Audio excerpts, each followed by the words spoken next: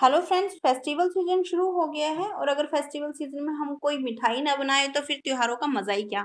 तो आज मैं आपके लिए एक ऐसी रेसिपी लेके आई हूँ जिसको बनाने के लिए ना हमें ना मावा चाहिए, ना चाशनी, ना कंडेंस मिल्क ना ही घी और उससे भी अच्छी बात यह है कि उसे हमें बहुत देर तक पकाने की ज़रूरत नहीं है। सिर्फ़ तीन मिनट में हम इसको बनाकर तैयार करेंगे। तो चलिए फिर इस आसान सी बर्फ़ी को बनाना शुरू करते हैं।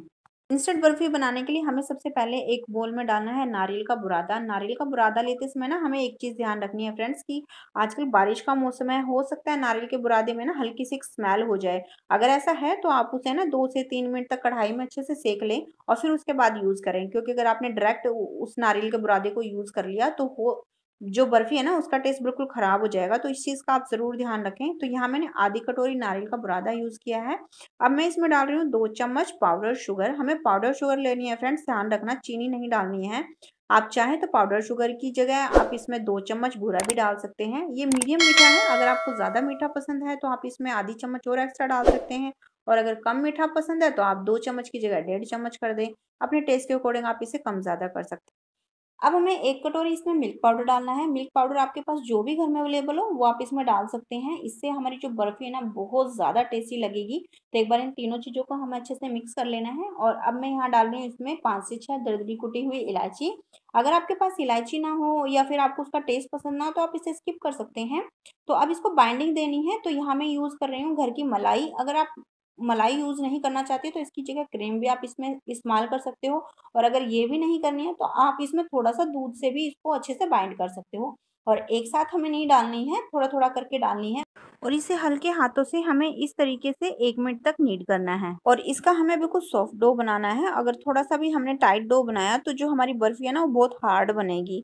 और इस डो को बनाने के लिए यहाँ मैंने करीबन ना, पाँच टेबल स्पून मलाई यूज़ की है। तो बस इस मिल्क पाउडर और कोकोनट के डो को हमें किसी भी घी से ग्रीस की हुई प्लेट या थाली या ट्रे पे ट्रांसफ़र कर लेना है।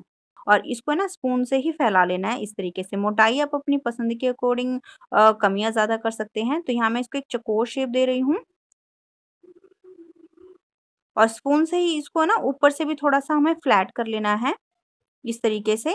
और अब हमें इस पे कुछ ड्राई फ्रूट्स लगाने हैं तो यहाँ मैंने कुछ काजू और बादाम काट के रखे हुए हैं, वो मैं इस पे इस तरीके से लगा रही हूँ। आप चाहें तो कोई भी ड्राई फ्रूट जो भी आपको पसंद है, वो आप इस पे लगा सकते हैं और स्पून से ना इसको हमें इस तरीके से हल्का सा प्रेस कर देना है, ताकि बर्फ़ी के अंदर जो ड्राई फ्रूट्स हैं वो सेट हो जाए। अब इसको हमें एक घंटे के लिए फ्रिज में सेट होने के लिए रख देना है।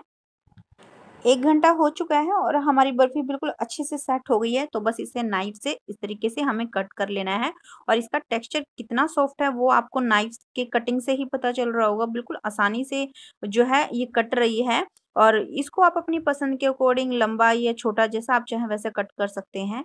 और इसका आप टेक्सचर देखिए, कितना बढ़िया टेक्सचर है। कोई कह सकता है कि इस बर्फ़ी को हमने सिर्फ़ तीन मिनट के अंदर बनाया है और ये सॉफ्ट कितनी है, ये मैं आपको तोड़ के भी दिखा रही हूँ, देखिए।